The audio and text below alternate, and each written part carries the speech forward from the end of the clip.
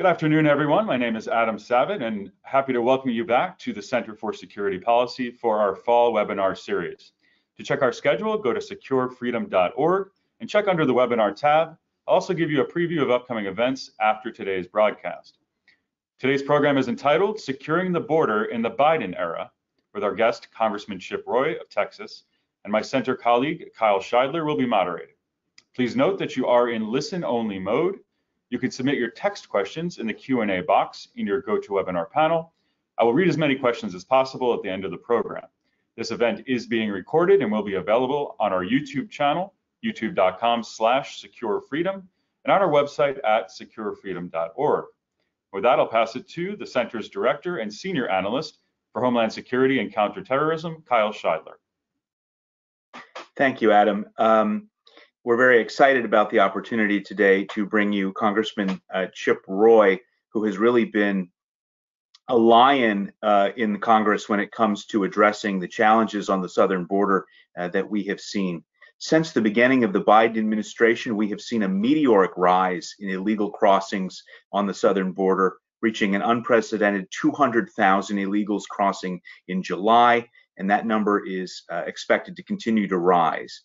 The Biden administration has aggressively sought to terminate successful border policies, including the migrant protection protocols, which are better known as the Remain in Mexico policy, and that's despite a federal court order.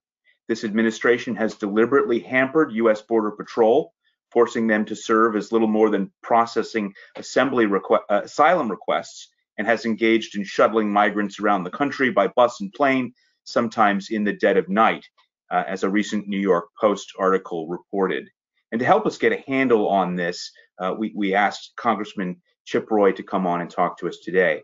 Congressman Roy is a devoted father and husband of two, or husband and father of two, currently serving his second term in Congress representing Texas's 21st congressional district. He previously served as first Assistant Attorney General of Texas under Ken Paxton, as Chief of Staff for Senator Ted Cruz. He was a senior advisor for Governor Rick Perry, and Senate, Senate Judiciary Committee staff director under Senator John Cornyn, as well as a federal prosecutor. So a lot of experience dealing both with uh, the particularities of Texas and the border, and as well as uh, in Congress. And prior to the public sector service he has done, he served uh, as an investment banking analyst. Congressman Roy, welcome. Well, it's my pleasure. Uh, great to be with y'all, and uh, really appreciate uh, what y'all do at the uh, at the center. You do such an important role, and uh, the border obviously is front and center. They're on the front lines of what we need to do to secure our nation. So glad to join y'all. Thank you. Congressman, you have been uh, very vocal about the responsibility that the Biden administration bears for failing to secure the border. You told Fox News in August, quote, over the past several months, President Biden and Secretary Mayorkas have blatantly and consistently refused to do their constitutional duty to take care that the immigration laws be faithfully executed as required by Article 2, endangering countless Americans and foreign lives in the process. I think that assessment is accurate. So the question that I would bring to you is uh, what are uh, our options? What, what's genuinely available to us to hold the Biden administration accountable for this border crisis? Yeah, well, first of all, I think it's important for everybody to understand uh, the clarity of the Constitution and the law with respect to the duties that are required of our leaders to secure our nation, right? Uh, we have a Department of Homeland Security. We can debate whether we should or shouldn't, or whether we should still have this under the AG or certain components under the Department of Defense. But we have these entities for a reason. And the President of the United States, the Secretary of Homeland Security, are obligated to enforce the laws of the United States.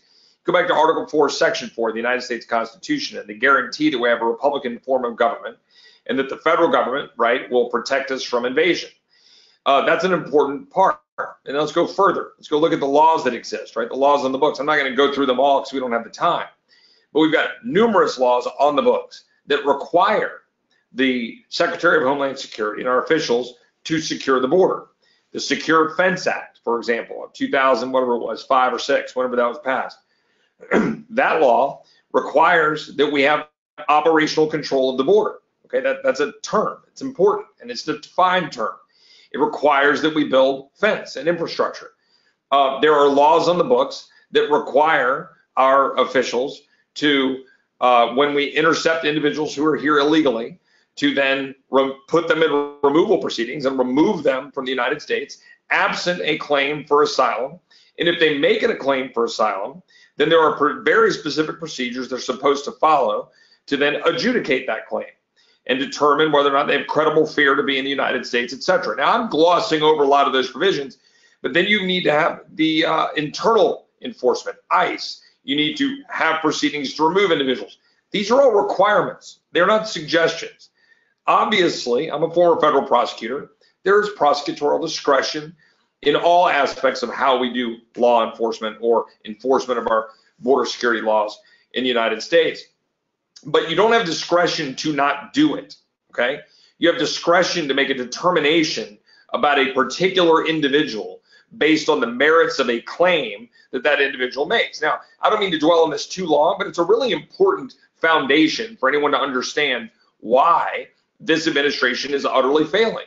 They have myriad tools at their disposal, myriad laws that require them to act, and are simply failing to use those. And I'll, I'll end this early diatribe and, and filibuster by saying they've got tools that the previous administration had uh, built and put in place in response to the 2018 rush to our border. Now, it's important to know that that rush in 2018 was not unprecedented, but it was different, okay? And it was different in that it was mainly Northern Triangle, Guatemala, El Salvador, Honduras, uh, individuals, family units, unaccompanied alien children that were coming to the United States and seeking to claim asylum and use our asylum laws as a backdoor to get into the United States. Not because they had justifiable, for the most part, claims to asylum, but because they knew if they rushed our system and flooded the zone, they could grant, they could get access if we didn't actually enforce the law. So when you have that many numbers, you got to do something about it. Well, President Trump and his administration did something about it. Uh, they put in place uh, migrant protection protocols, the Return to Mexico program, where they interacted with Mexico, used the trade uh, pressure and negotiations to get Mexico to the table and work with us to require individuals to stay in Mexico, a safe third country, while awaiting the adjudication of an asylum claim. Well, guess what? That shuts the flow down because migrants don't think, oh, I can just come to the United States and just get come on in. The second thing they did was Title 42. During a global pandemic, the use of existing laws, Title 42 uh, enables this decades old law uh, under our health codes uh, that allow us to say during a global pandemic, you we can just stop people and turn them away at the border for our health and national security. Between Title 42 and MPP, we shut the flow way down. We didn't close it. I mean, it was still needed work to be done, but we had that flow down to a manageable number of 20, 30,000 type a month numbers instead of the now 200,000 ish a month numbers of just apprehensions. I'm not talking about gotaways. And I'm happy to talk about that more, but I've, I've gone too long on your first question. Well, I mean, you, you flowed right into to my second question, which is we, you know, we have testimonials from migrants that the remain in Mexico policy was effective and that it played a significant role in their decisions not to cross during the Trump administration years. We also have testimony from them that they made a deliberate decision to come during the Biden administration because they felt, uh, rightly or wrongly, that they had essentially received something of an invitation. Um, I mean, what do you think is the motivation for the Biden administration's intransigence when it comes to border security? Uh, I mean, and I think intransigence is the right word because, as you said, they are deliberately removing uh, policies that are in place that were working. Yeah, well, so we've talked about the structure of what is required and what works. We've showed how the Trump administration responded to a crisis and was able to stem the tide and uh, not fully, but at least responsibly respond at our border. Um, let's talk just for a minute about what's actually happening, right? We're now probably, when we get the September numbers, we're going to be well over one and a half million, probably pushing 1.6 or 7 million apprehensions for the year. Now, that is an extraordinary number. Okay, that dwarfs numbers we've seen in the past. Over 200,000 a month through this summer. Normally, numbers start dropping off in the summer. We've had probably three to 400,000 gotaways. We've got uh, an extraordinary number of migrants who are dying in the South Texas heat in, on people's ranches. Um, Brooks County, Texas, for example, has had over 100 dead bodies found. Um, each one of those, that county has to pay $3,000 a person for an autopsy, $5,000 a person to bury them if their body's not clean. Ranchers have to deal with finding dead bodies on their ranches. Um, there's a body trailer that Sheriff Benny Martinez uh, is telling me about being used in Brooks County because of dead migrants. We've got people being put into the sex trafficking trade, getting put in stash houses across our country, being held for ransom, and powering cartels, dangerous cartels that are making hundreds of millions of dollars moving human beings and fentanyl for profit. Fentanyl is killing Americans. 100,000 opioid either overdoses or poisonings in the last year. Compare that to, to the cocaine problem in the 80s when we had 10,000 people overdosing. We're at extraordinary unseen numbers, a hockey stick increase. And it is driven by cartels, driven by China, being perpetuated by an administration that refuses to actually secure the border. Now, you ask why? Um, the answer is pretty simple crass politics.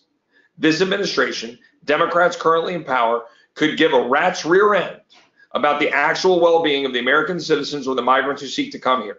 In the false name of compassion, they say open borders are good for migrants. They're lying, as evidenced by the dead migrants, as evidenced by the girls that get raped in the middle of the, the de- desert in South Texas or in southwestern United States, as evidenced by the girls put into the sex trafficking trade, as evidenced by the people dying from opioid overdoses and poisonings, like I said.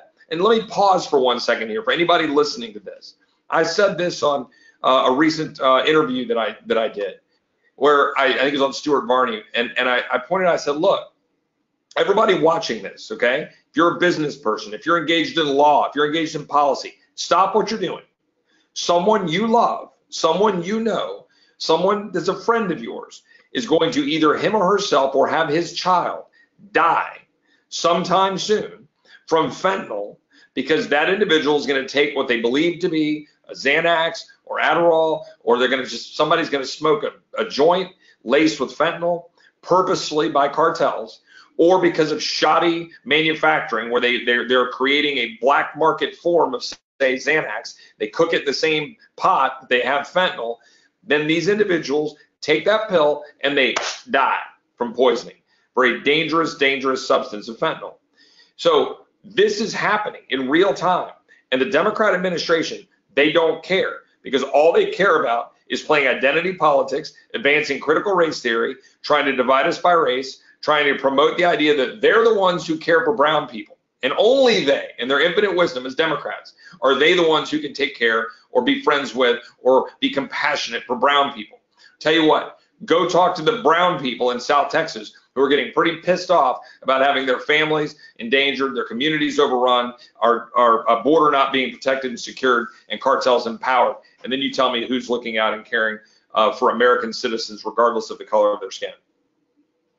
I think you raise a really important point in, in painting the, the accurate picture of the, of the human cost on both sides of the border that that we have because of the open flow. I remember when I was down in Del Rio, Texas in June, and Congressman Joe Frank Mart or Sheriff Joe Frank Martinez down there told us that the cartel on the other side of the border made 25 million dollars a week because every single migrant who crosses pays the cartel for the privilege to do so. Yep. You know, in the absence of this clear federal leadership uh, gap, you know, there's no federal leadership here I mean, my question would be how do we articulate the constitutional right of states to defend the border, to secure their border? Uh, we know that this right exists. You've been very vocal about this. Uh, how can we best make the case that states like Texas have to take the lead here? Yeah, well, that's a great question. I think it's actually the the sixty-four thousand dollar question, although that dates me by quoting that number. Uh, but uh, here's here's the thing we want to take in, in order. Number one, uh, what Secretary Mayorkas and President Biden are doing uh, are, in my opinion, and I believe in the opinion of others that I'm continually talking to, impeachable acts. And Secretary Mayorkas ought to be impeached, and President Biden ought to be impeached for purposefully and willfully refusing to faithfully execute the laws of the United States and, uh, frankly, abusing their power uh, by not doing so. They have a duty to faithfully execute the laws of the United States. They swore an oath to uphold the Constitution and defend our laws, and they're failing to do so. I outlined at the outset of this conversation the kinds of laws that are in place, the constitutional duty to actually secure the border. And when you're willfully withholding resources, when you are purposely not following the Secure Fence Act, not building the wall, not building the fencing and infrastructure needed, not helping and supporting Border Patrol, purposely creating policies to release individuals to the United States under parole or under notice to appear or notice to report, knowing they're not returning, not enforcing it internally, putting out memoranda saying don't enforce it, creating a magnet and a big neon sign saying come to the United States, claim asylum, and you're going to get to come in. Wink, wink. Don't worry, you'll be able to come in. Now you're causing a flood to our border. That is faith. That is failing to faithfully execute the laws of the United States. That is clearly impeachable, in my opinion, based on what the founders meant under impeachment and what your duty is to not break trust with the American people, not break the public trust, and to carry out your constitutional duties. We can debate that, but that's my reading of it, and I believe we ought to impeach Mayorkas and we ought to impeach President Biden because of this. Now, what does that mean? As a result, if we know that the president and we know the secretary are not going to enforce the laws, if we know that therefore the people of Texas, the people of the United States are endangered because of the flow of drugs, narcotics, fentanyl, et cetera, into our communities. Our children are dying in schools. We know migrants are being abused. We know ranches are getting overrun, fences getting cut, livestock getting out, cartels getting empowered to the detriment of our national security, the empowerment of China to move dangerous synthetics in through our southwest border. If all of those things are true, and they are, then it is incumbent upon a people in a state such as Texas to make a determination for themselves that they need to secure their own communities. I've been encouraging Governor Abbott, and look, let me let me stop and give credit where credit is due. In the Del Rio situation with the Haitian crisis a month ago, the governor sent massive resources, DPS resources, to Del Rio to support Border Patrol because this administration is not supporting Border Patrol. They're calling them racist and saying that they're using the reins of their horses as whips. Blatant lies, by the way. And Texas is sending DPS law enforcement to go support them. And we did, and it helped. And Governor Abbott should be applauded for that. Uh, but my view is we need to go further. It is incumbent upon us to secure the border of Texas. That is constitutional. We have a right to defend ourselves in the absence of the federal government doing so. I understand that gives people a little bit of uh, trepidation. Uh, wait, that's a federal responsibility. Well, what happens if we have a conflict here and the state of Texas saying we should do it and the feds are saying don't? Look, those questions you get brought to bear and you can go litigate them if you want. But when you have a baby on your doorstep, you don't go seek a legal opinion about whether or not you can take the baby in. You take the baby in, you take care of the baby, then you go figure out all of the child protective whatevers and the adoption and the fostering and whatever. You, in this case, you don't sit back. If you're sitting on your ranch in 1870s Texas and the Comanches are riding down on your ranch you don't go, well, I wonder what my rights are here. Who do I need to call? Do I need to go to a judge and find out what I'm able to do? No, you defend yourself. You defend your family. You protect your community. And that's where we are today.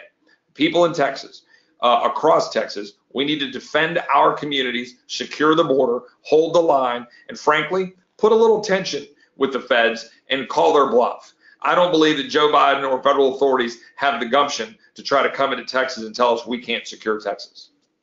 On the plus side, as you mentioned, that history of Texas, there's actually some pretty decent case law uh, of Texas dealing with with cross-border challenges in the past. So this is not entirely a new uh, challenge. But one of the questions that I had was, how can we? Not every state is Texas. Uh, not every state is a border state. But as we've increasingly seen uh, every state is being impacted by the flow of migrants. You know, uh, we have the federal government busing and planing uh, people into states from New York to, you know, Minnesota and everywhere in between. How can those states help support Texas uh, if Texas is is determined to to defend this border? Well, first of all, if you're a state that has a strong governor or you're a good uh, uh, good legislature, you could do like Governor Ron DeSantis and you can send resources to Texas, you can send resources to border states because you know not only are you helping your brothers and sisters who are dealing with it on the front lines, you're also supporting your own citizens by ensuring that we're doing what the federal government won't do. So encourage your governors, encourage your states to support Texas, to support Arizona, to some degree, I guess, support New Mexico and California, but not sure they've got the leadership in place to do what needs to be done. Um, importantly, make sure that you talk about this. Look, the opioid issue, the narcotics, the fentanyl problem, that is not a problem limited to Texas. That is a nationwide problem. Those 100,000 deaths. You know, I met with a woman uh, who runs an organization uh, to, that that tries to uh, help people and know to get uh, uh, people to understand and know what's happening with the fentanyl crisis. Um, and uh, Virginia, and I'm blanking on her last name. Virginia is a wonderful woman, and she, her daughter, unfortunately, passed away from a fentanyl uh, uh, poisoning and it, she didn't know that what she was taking again it was something like a xanax or something she didn't know that it was laced with fentanyl and she died and so this organization highlights, and I've got sheets of paper with the faces of the thousands of young Americans, not always just young, but heavily young Americans who have died because of this scourge. The American people need to know that.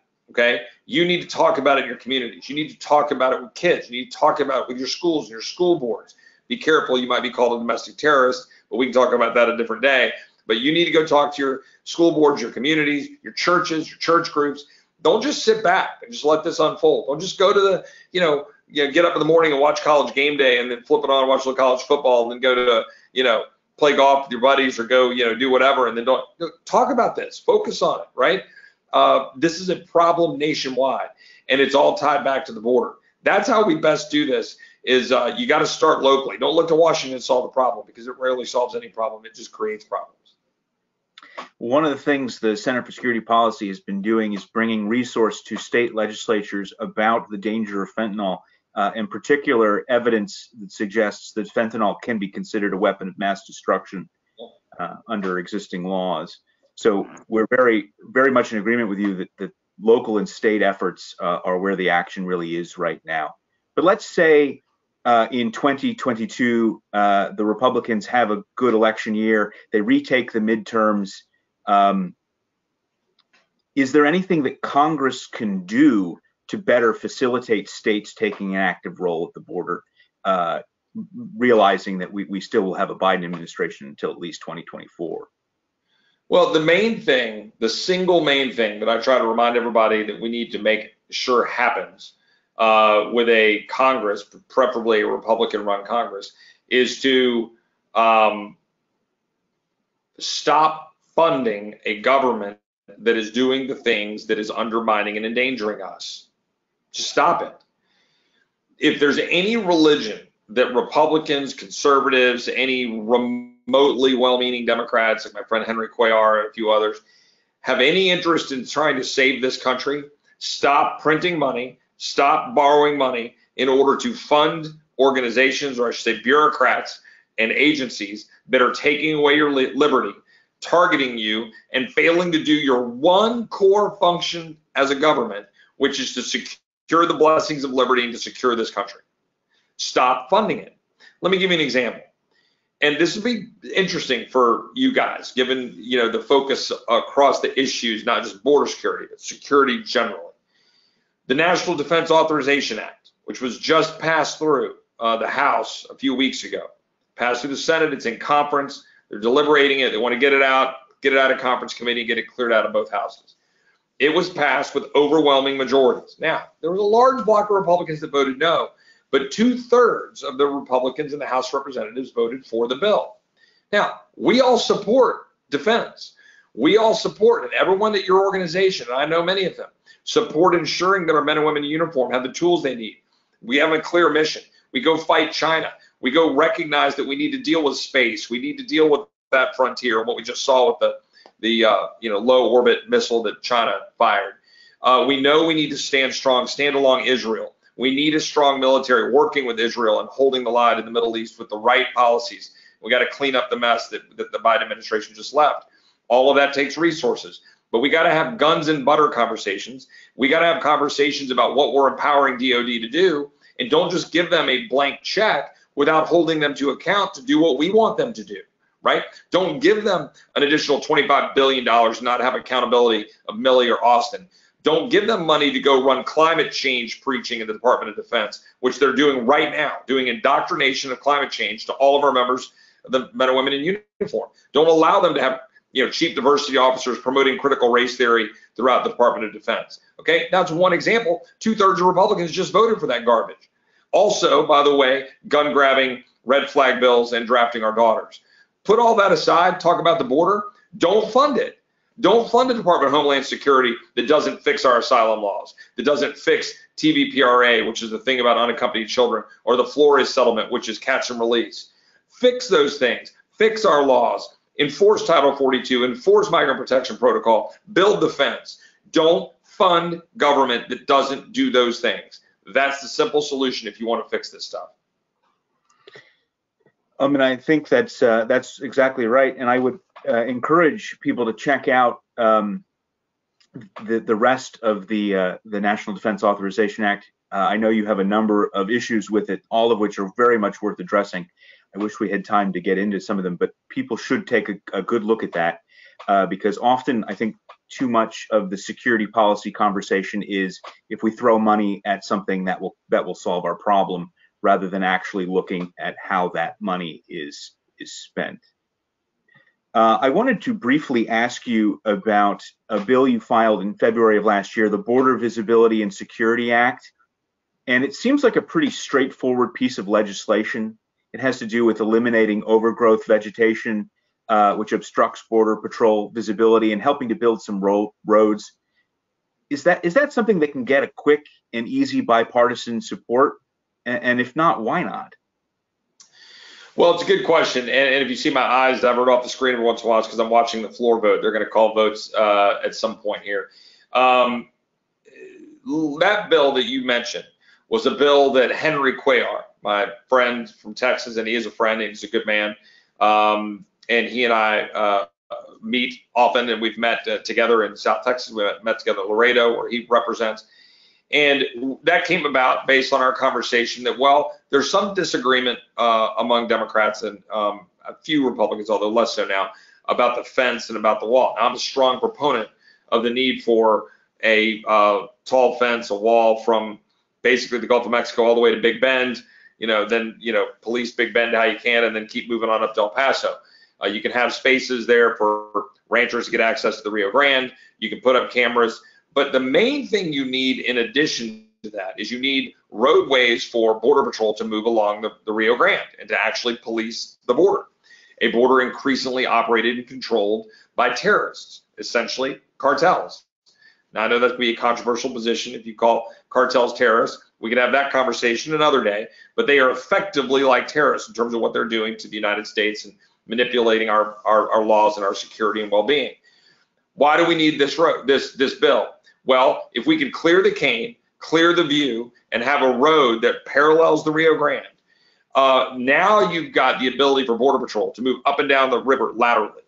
Currently in Laredo, for example, you have about a seven, it depends on how you look at it, but about a 75 mile as a crow flies stretch, 125 miles of net, you know, windy Rio Grande River, where they have three three miles of all of that is navigable by a permanent weather, all weather, you know, good, good road and about 10 miles of hodgepodge navigable road. And the rest is just ranch land, hills, cane, scruff, rocks, difficult terrain. I know because I've driven it with Border Patrol a lot. So you imagine going down and you're sitting there 11 o'clock at night. Your cell signal is terrible. You don't have a two-way radio that works. You only have one Border Patrol agent in the car because we've been beating the crap out of them and Biden has beat down their morale and we have fewer numbers. The rest of them are down processing people down at McAllen. You've got one guy trying to patrol a three to five to 10 mile stretch and you can't even move along the river in parallel. You get a call that there's some migrants coming across four miles up. You got to come up, get on a highway, go this way, go through the city, go through a gate, open the gate, go into somebody's ranch land, then come out and go over and go try to find them mean, they're off in the dark now because the cartels know where to put them. So this is happening every single day. We need to have common sense changes at our border. This is one of those. Um, it's hung up right now because Democrats don't want to do anything to secure the border, like literally nothing. But if we get back in, in power, I hope it's something that we can move through in addition to or alongside what we do with the fencing. are there other common sense fixes at the border that you would like to see a, a Republican Congress move forward uh, if that should happen? Yeah, you know, the irony of all this is that there are some issues we deal with that are complex and difficult to figure out. You know, what our presence should be and how long it should be and where it should be in the Middle East. Have a long conversation with your great staff and team about that, right? Because there's some complex variables. How to handle China, uh, what we should do with respect to some of our healthcare policies get pretty complex, and patent laws and, health, and what you do with medicines. This is not complex, okay? This is simple. You want to secure the border of the United States. You build the physical barrier to stop the immediate danger of the flow. Do that right now. We have it funded. The president is refusing to do it. We have fence parts stacking up and rusting in the middle of Texas. Easy solution ought to be done. Two, clear the cane, build roads, etc. That's bipartisan. Do that. Make it to where Border Patrol can move up and down the river. Three, fix our asylum laws. Clear up what credible, credible fear is make it to where it's very clear that if you're going to claim asylum, you're going to claim it somewhere else from a safe third country, claim it in Mexico, and then we'll adjudicate it, make a decision whether you come in.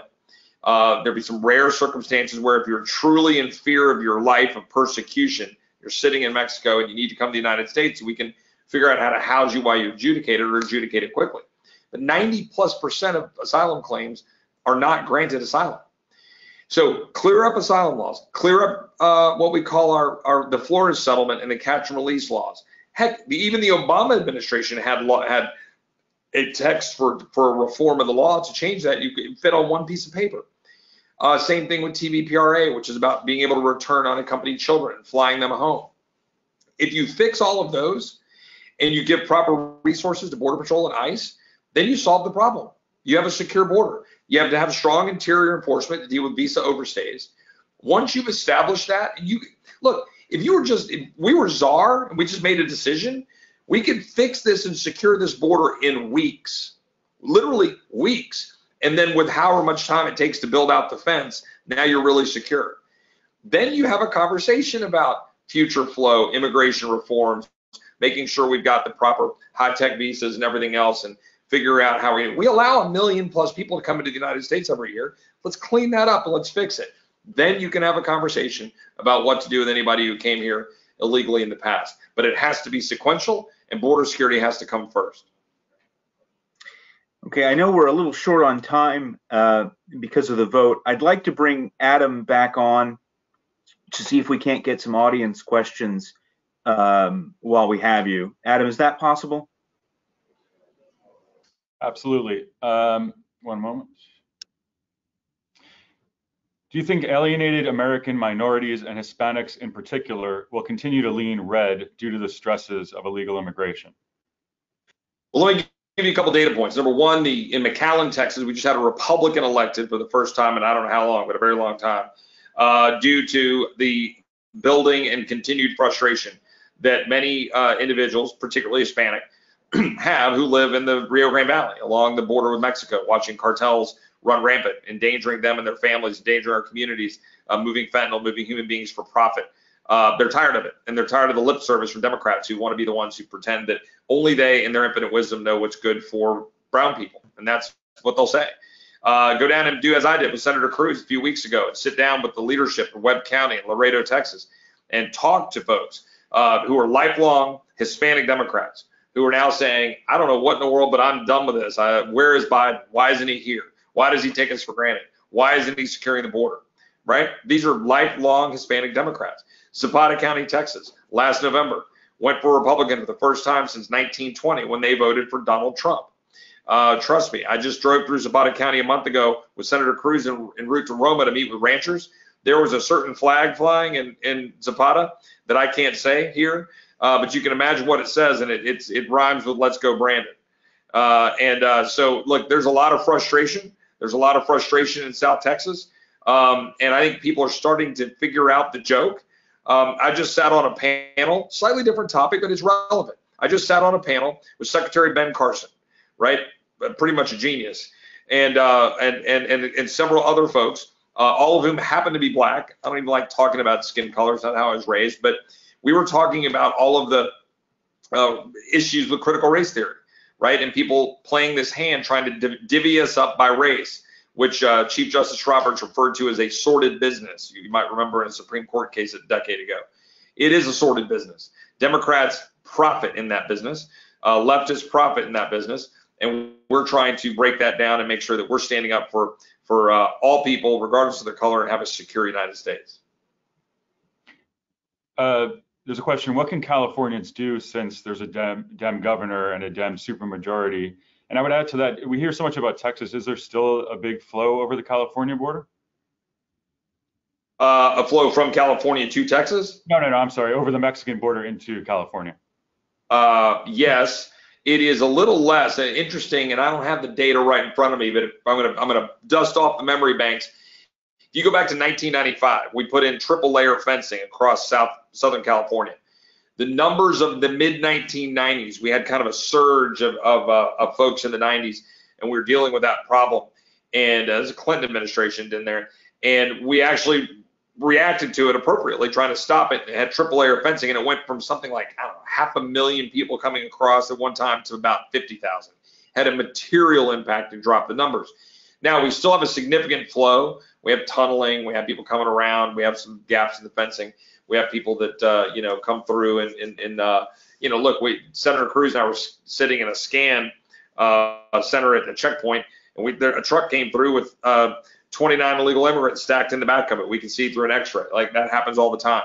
So there still is a significant flow in Southern California.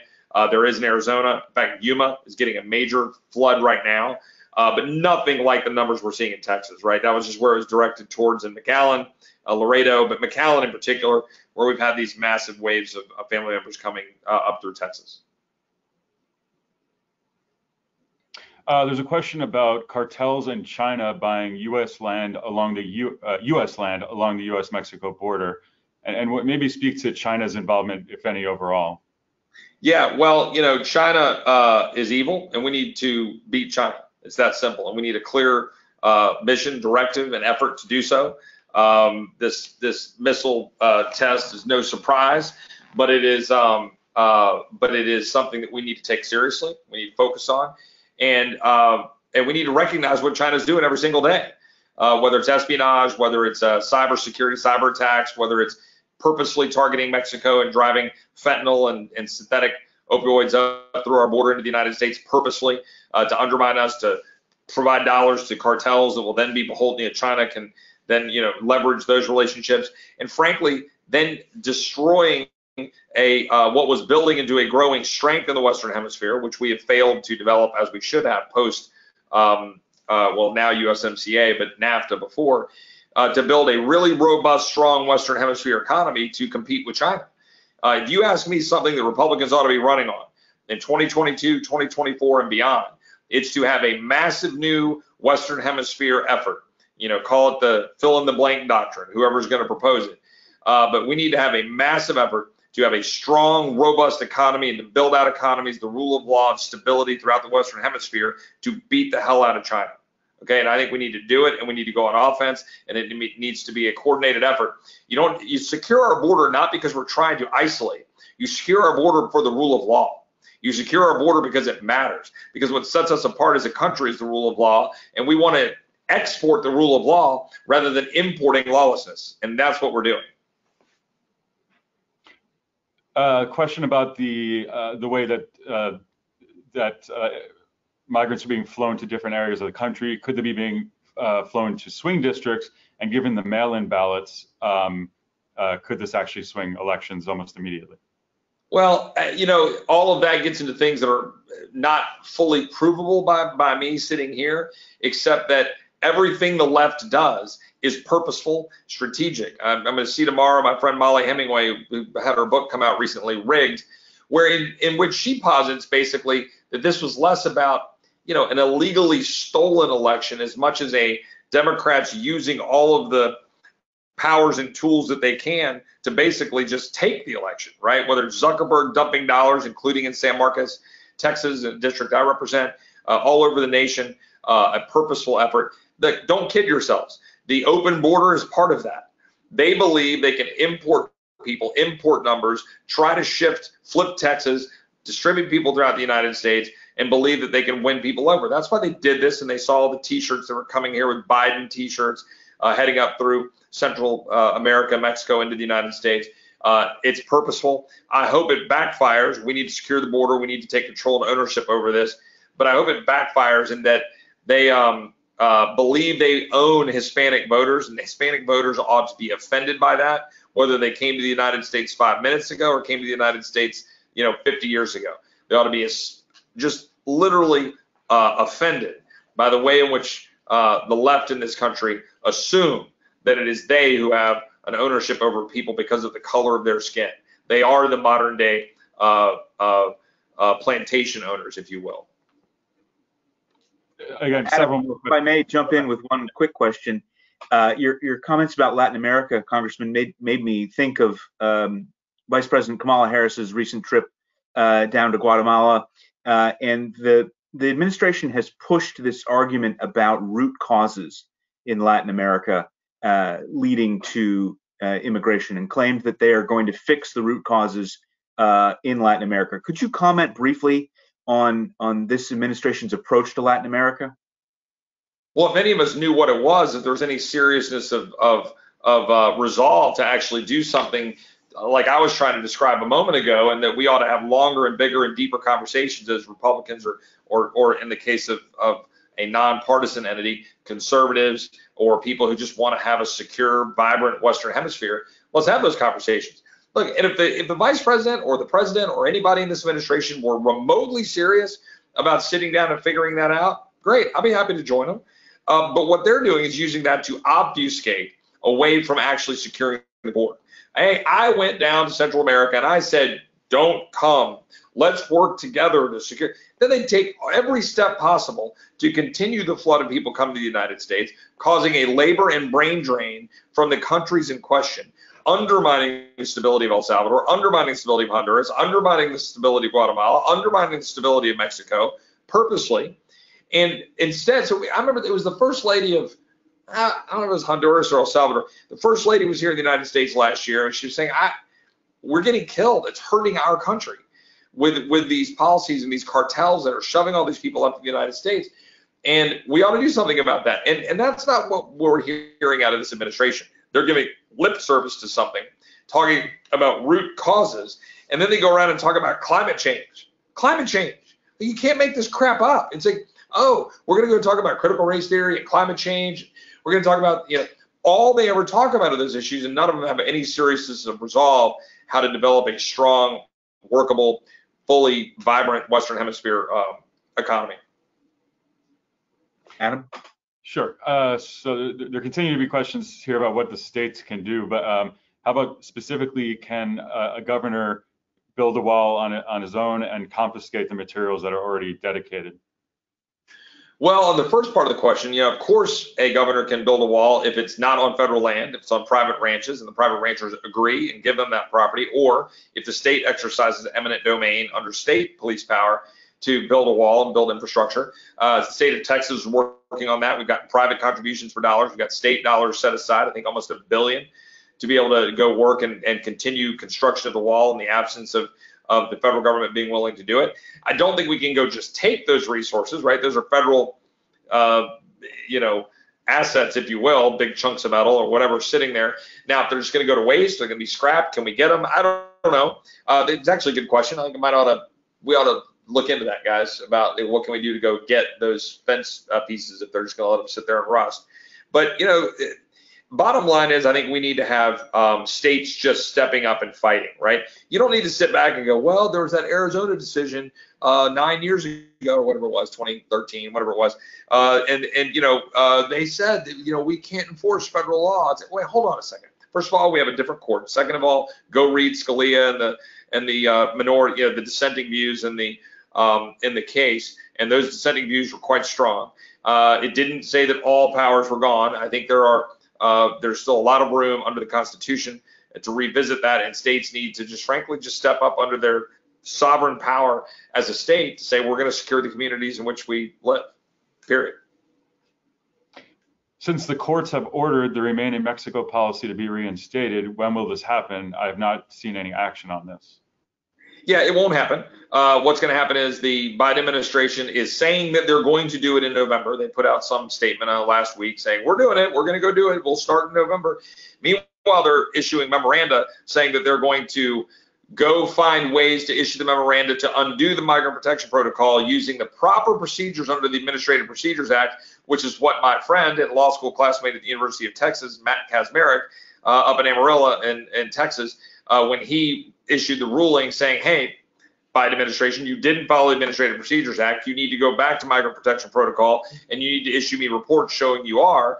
They're taking steps to basically slow walk, delay, show him, oh yeah, we're doing it a little bit, and don't worry, we're going to do it in November, and we've got all these things. They have no intention of doing it. Now, if I'm proven wrong, great. Run this tape all day long showing that Chip Roy's an idiot. I don't mind. But I'm telling you, it's bogus. They have no intention of doing it. They're slow walking it. They have no intention of securing the border. And uh, we need Congress to act. And I might mention, I have a measure on the floor of the House of Representatives to discharge Title 42, uh, my friend Yvette Herrell's bill, in order to force a vote on the floor of the House. You need 218 signatures. We have 180.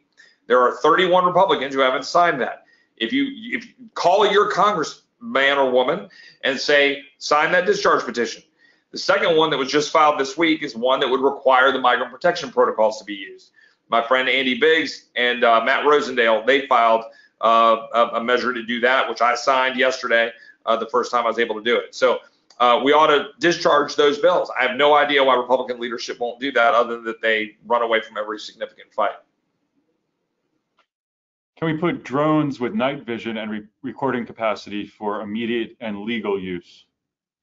Um, I don't know what the limits are on drone usage or what we can or can't do. I mean, I'm in favor of very specific and tight use of drones at our border. I certainly don't want the United States government flying drones all over the United States looking at all of us. But when you're talking about what we're doing at the border, having drones uh, manning and you know, doing what we need to do there, daytime, nighttime, it is happening. We use drones. Uh, we ought to have more of it. We need we need fencing. We need drones. We need better communication.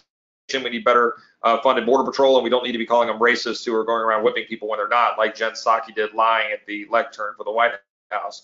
Uh, and we ought to call her out as the liar that she is, and call the president out for the liar that he is, uh, and going after the very border patrol agents who report to him simply for doing the job he won't do. Uh, I wanted to ask uh, Congressman, are we seeing anything uh, with uh, border patrol numbers dropping off? I know morale is very low there's also the federal vaccine mandate uh, for federal employees. Is that having an effect on U.S. Border Patrol morale and, and manpower numbers? Because you know the last question was about technology, but ultimately you need somebody to watch the drones. You need somebody to make the arrests. So uh, yes, it's having a massive impact. Uh, I can tell you that Border Patrol morale has been going down, down, down, down, and it was at a pretty good low. And then you have the President of the United States and the, as I said, the press secretary and the secretary uh, going after Border Patrol agents for doing their job and saying that they're whipping people, and morale dropped even further. We are losing people. I can't remember the exact numbers. I don't want to cite an incorrect number, but it is a significant number of, of uh, Border Patrol agents a week. We're not able to bring the inflow up to match the outflow. Those numbers are going down. Border Patrol agents are distracted processing people in McAllen because that's all they're doing is running diapers and processing stations uh, rather than actually securing the border. You've got large swaths of our border that are unpatrolled. Cartels know that. They exploit it. and now you throw on top of this the vaccine mandates, which are unconstitutional and unlawful as applied to private sector, uh, you know, requiring it on businesses. The president literally has no authority or power to do that. Uh, and now he's doing it on, uh, you know, the federal agencies, whether it's the Department of. I actually do have to go vote, but let me just say if you can hear me, all I was saying was the vaccine mandates will have a massive impact. It is having a massive impact. Uh, the president has no authority to do it in the private sector. He does to agents. I haven't studied that fully, but the you, you, what, what pushback they could push back on religious exemptions and otherwise. But he shouldn't be doing this. It's absurd. Uh, we can have a whole other conversation on vax mandates and, and the you know impact that's having on our national security and well-being. I got to run to the floor to vote. I'm sorry to cut this short by about eight minutes, but um, look, I appreciate y'all. I appreciate what you're doing. Appreciate everybody watching this. Uh, we need to go secure the United States. That's our fundamental duty in government and not uh, have the government uh, spending money we don't have to go clamp down on your rights as citizens. And I'm going to keep trying to do that. Congressman, thank you. Well, that was Congressman uh, Chip Roy um, on how to deal with the uh, U.S. southern border during the Biden era. Uh, we're very thankful for his office for for making him available uh, for the time that he's had available, and we hope that you've enjoyed this. Uh, Adam, if you want to provide them with information about upcoming webinars. Sure, and I'm sorry for the small tech hiccups there. Um, next Monday, we have uh, next Monday, the 25th, Beyond Iron Dome, Charting Israel's Offensive Capabilities in the Context of a Nuclear Iran.